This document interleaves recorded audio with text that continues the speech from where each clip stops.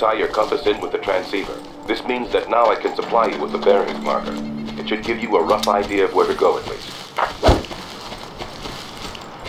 All repair teams, please prep the takeoff area. All teams begin. Use your binoculars to survey the surroundings. Notice that they have a sound enhancer and movement tracker. Dr. Krieger has fitted everyone on the island with locator signals that you can track using the binocs.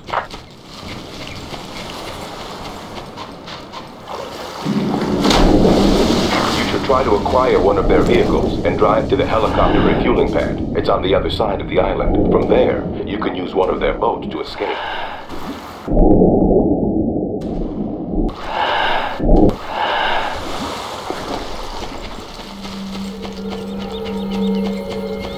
Take care.